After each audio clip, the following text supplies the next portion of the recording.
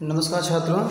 तो कल तक के वीडियो में हमने आपको जो है बताया था लम्बोर्डिंग के बारे में, और आज हम चर्चा करेंगे जो है जिसमें आपके न्यूक्लियोडिन के बारे में जो है चर्चा हो चुकी थी। आज आपका बाकी है ज्यूसे मिस्नी या भी क्या था? यहाँ भी एक क्रांतिकारी था, और फ्रांस के उदय में, इटली के उदय में इसकी बहुत ही महत्वपूर्ण भूमिका होती है। सबसे पहले जानते हैं कि ज्यूसेफ मिस्नी कौन था? ज्यूसेफ मिस्नी जो था, एक अगर इटली के राष्ट्रवाद के मसीहा के बारे में बात करें कि जो इटली का राष्ट्रवाद था, उसके जो है मसीहा था, वो था जूसेफ मिस्नी जूसेफ मिस्नी का जन्म स्थान देखेंगे तो इसका जन्म जो है इटली में जिनेवा नामक ग्राम में हुआ था और सन अठारह सात ईस्वी में क्या होता है? इसका जन्म हुआ था। उसके बाद यह जो है कार्बोनरी एक कार्बोनारी गुट जो है नाम का एक, इसने जो है एक संगठन बनाया था, कार्बोनारी जिसको जो है गुप्त संगठन के नाम से जानते थे, ये इसका सदस्य भी था। ये इसका सदस्य भी था और उसके बाद इसने जो दो और संगठन बनाए थे, यानी कि जूसेफ मिस्त्री द्वारा दो और संगठन बनाए गए थे, मार्सेकी और बर्न। मार्सेकी और बर्न जो है, दो और संगठन बनाए गए थे इसके बाद। यानी कहने का मतलब है, जूसेफ मिस्त्री जो है, इटली के, जो है इटली के राष्ट्रवाद का मसीहा होता है और इसके अगर जन्म स्थान के बारे में चर्चा की जाए तो सन अठारह सौ सात ईस्वी में जिनेवा नामक जो है एक स्थान है इटली में, वहाँ पर इसका जन्म हुआ था। और यह जो है कार्बोनारी नामक एक संगठन था, जिसको गुप्त संगठन के नाम से जानते हैं। इसका जो है सदस्य था। लेकिन इस कार्बोनारी संगठन के सदस्य होने के बावजूद भी इसने दो संगठन और बनाए थे। जो है, एक का नाम था मार से ई और दूसरे का नाम था बर्न जो मार से ई था, उसको जो है यह इटली के नाम से जानते थे, यानी कि मार्सेई जो द्वारा जो जो है, जो संगठन बनाया गया था, उसको यंग इटली के नाम से जानते थे, जो बना था अठारह सौ इकतीस ईस्वी में। ठीक है? उसके बाद अगर बर्न की बात की जाए तो बर्न जो है नाम से फ़ेमस था यानी प्रसिद्ध था और इसको बनाया गया था अठारह सौ चौंतीस ईस्वी में। उसके बाद, अगर इसको आप देखेंगे, उसके बाद जब यह इसका सदस्य था यंग यूरोप का, इसके दौरान इसने लिंगुरिया नामक क्रांति की, लिंगुरिया नामक उसने क्या किया था? क्रांत किया था, जिसके कारण इसका जो है, चौबीस वर्ष के शासनकाल व्यवस्था में इसको जो है, बहिष्कृत किया जाता है।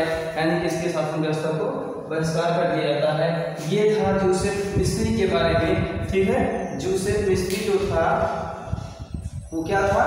कि वो ऑस्ट्रेलिया का एक चांसलर जो होता है, जिसे मैटरनिक मैटरनिक ने इसको जो है कहा था, जुस्नी मेस्नी को ऑस्ट्रेलिया के जो ऑस्ट्रेलिया के चांसलर थे मैटरनिक जो ऑस्ट्रेलिया के चांसलर का नाम था, वो था मैटरनिक मैटरनिक ने जुस्ने मिस्नी को कहा था इटली की सामाजिक व्यवस्था का खतरनाक शत्रु कौन है? जूसेफ मिस्नी। यह वाक्य आपका सकता है, बहुत ही इंपॉर्टेंट है। इसमें आप देखेंगे तो आता है, इटली की सामाजिक व्यवस्था का खतरनाक शत्रु बताया। उसमें इन्होंने एक मैटर नाम का चांसलर था, वो भी ऑस्ट्रेलिया का।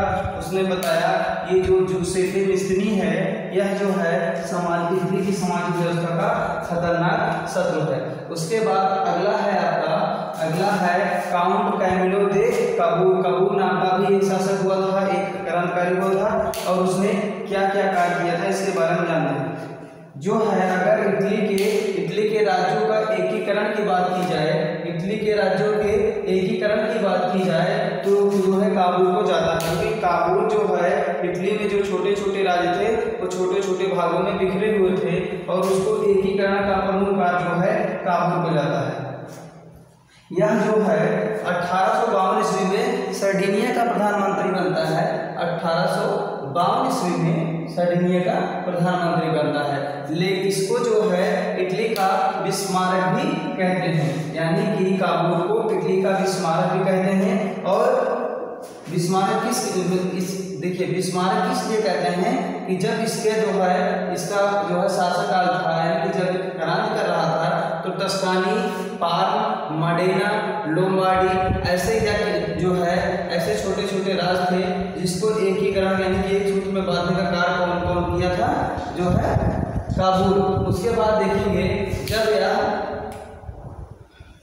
इसकी मृत्यु के पहले, यानी कि काबुल के मृत्यु के पहले जो था, रोम और वेनेशिया को छोड़कर इटली के सभी राज्य एकीकरण हो यानी कि जब जब इसकी मृत्यु हुई थी उसके पहले तक रोम और वेनेशिया को छोड़ देंगे।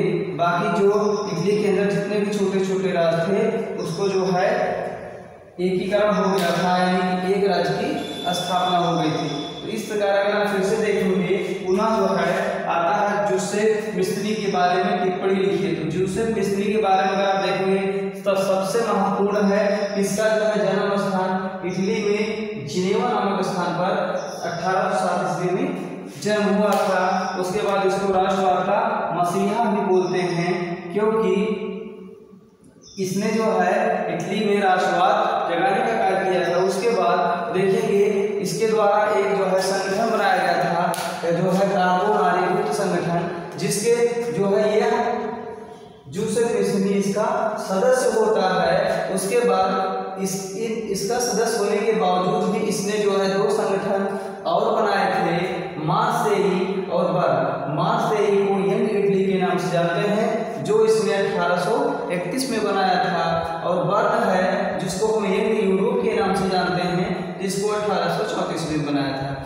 उसके बाद अगर आप देखेंगे, जब यंग यूरोप का सदस्य था, सन अठारह सौ चौंतीस ईस्वी में, उस टाइम पोलैंड जर्मन फ्रांस राज्यों के युवा इसमें सदस्य थे।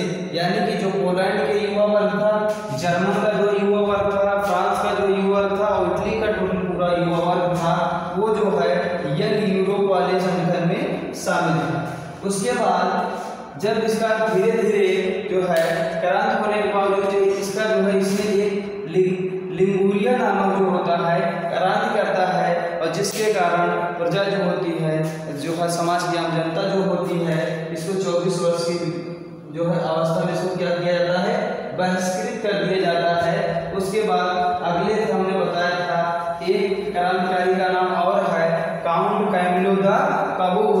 उनके बारे में अगर आप देखेंगे, इसको इटली का जो है विस्मारक भी कहते हैं। इतिहासकार जो है इतिहासकार